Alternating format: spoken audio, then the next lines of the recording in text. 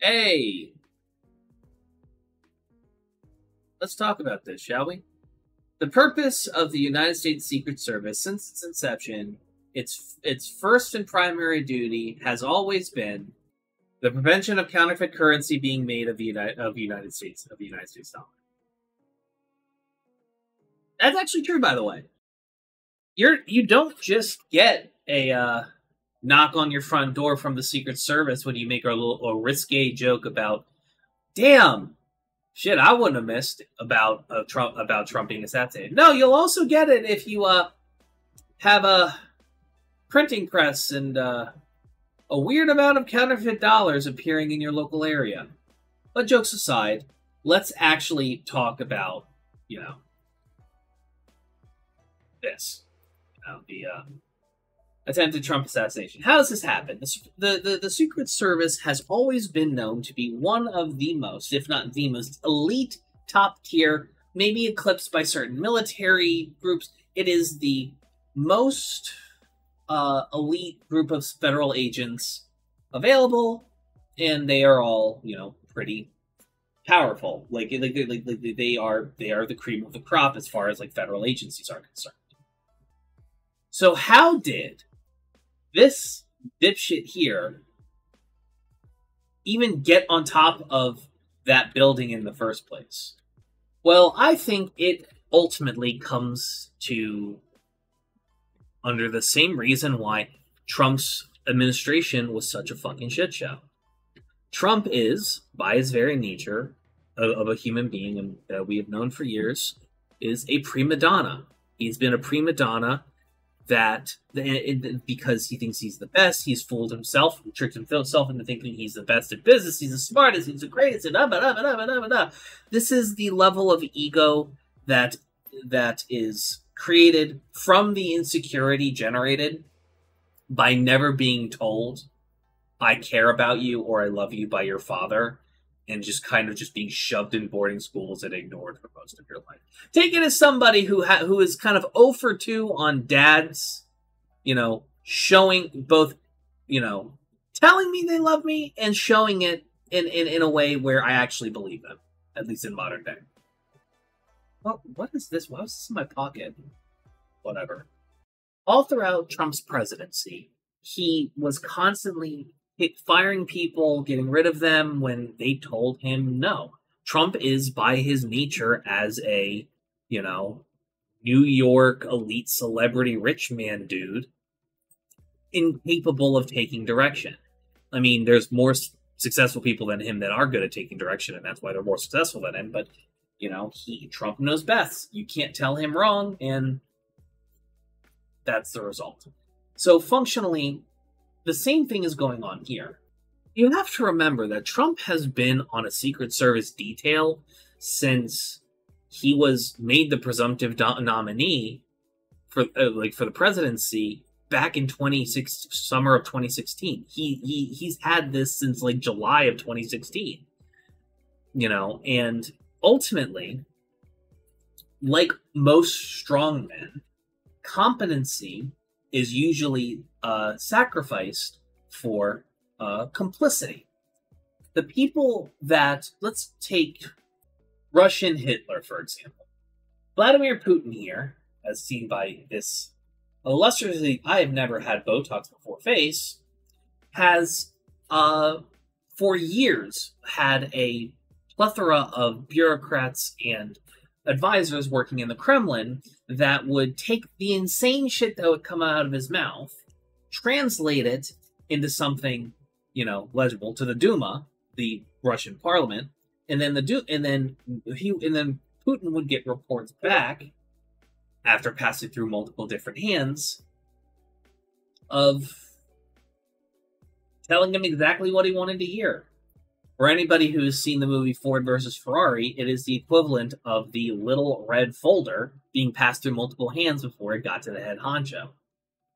The people that stick around long term are the ones that don't rock the boat and don't tell the glorious leader what they don't want to hear. It is a existence. It is a uh, information bubble that prevents powerful leaders from hearing reality.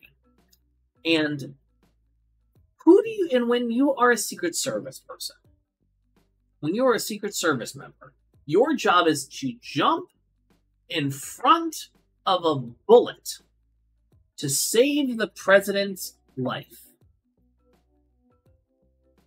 And you are supposed to do everything in your power to make sure that the president or former stays alive. Including telling them what that they can't do things, and herein lies the problem.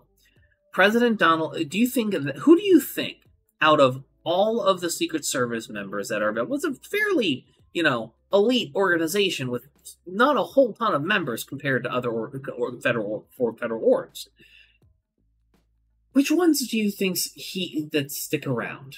Which ones do you think that he fires and does not want present anymore? Which ones do you think that that end up wanting to stay around him and don't hey, I can't fucking stand listening to this dude. Every time I say please don't please don't post our location on Twitter where like we're in transit, you're going to you're that that's a security risk.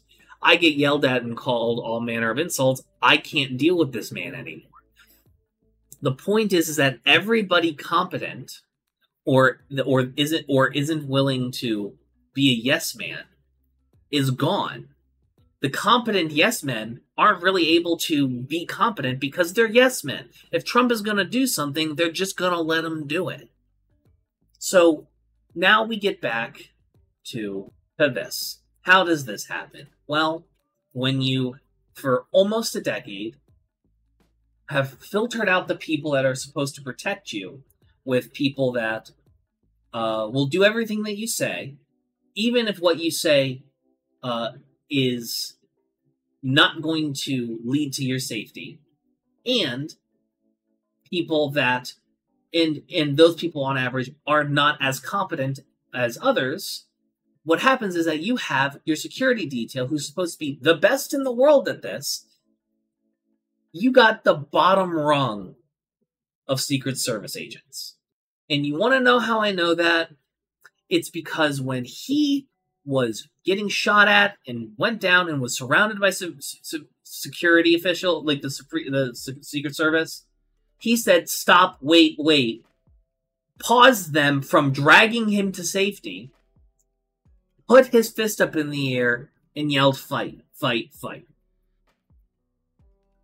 Under no circumstances, if this was Obama's detail, Biden's details, uh, uh, Clinton's, uh, uh, fucking Carper, not Carper, that's my fucking dipshit senator. Um, the nice president who's old, who's old as shit, and I can't remember his name. Carter, I was one level off. None of their Secret Service details, except maybe Car- Carper's, Carter's, he's, they probably treat him more gently because he's fragile, would ever stop if them doing something at, while they're on a stage in open view. That wouldn't happen. That happening alone is enough of an reasoning for me to understand that Donald Trump's security detail is filled with the washed lower rungs of Secret Service. The reason why the Secret Service fucked up and didn't do this is because they is all the incompetent people who either like Trump and are yes who either liked Trump and are yes men or aren't good at their jobs and weren't and and were and, and were they were all that's left of people that were being that were able to guard the president because all the competent people didn't want to fucking deal with him. That is that is Orange Man's detail.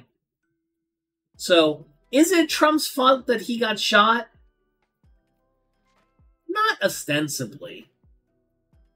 But I'm pretty sure that his his propensity for filtering out his inner circle to be to filter it out with to just incompetent yes men is a, is a contributor to this and it's a big reason as to in, in project 2025 and all of the things laid laid therein written by actually competent people who do want to make this country worse for their own gains you know, there's a reason why that if Trump does win, he's a figurehead. They, they, they, they there's there's not he's not going to be picking his own cat. It will be all picked for him. And this assassination attempt has probably been a wake up call to him saying, huh, I'm gonna just let I'm gonna just do I I, I I'm I'm gonna change some things and and changing his speech from what it originally was going to be. I digress. Ladies and gentlemen, thank you so very much for watching. I'm now going to leave you to pre-recorded Evan. Toodaloo. Hey, thanks for watching. If you want to you want to talk to me outside of this video, outside of live streams, or just be a join the community and be a part of it, you can do so at himedia.gg slash discord. Discord links there. We'd love to have you. And given the financial situation of the economy right now, I know this is a tall ask, but if you have the scratch to, to spare, please consider donating and becoming a supporter at himedia.gg slash tin. All of our perks are serviced through our Discord channel, including early access videos, exclusive videos, and more. Your generosity is a blessing, and a dollar a month is boon to my mental health. Thank you so very much for watching. I appreciate you, and have a great day.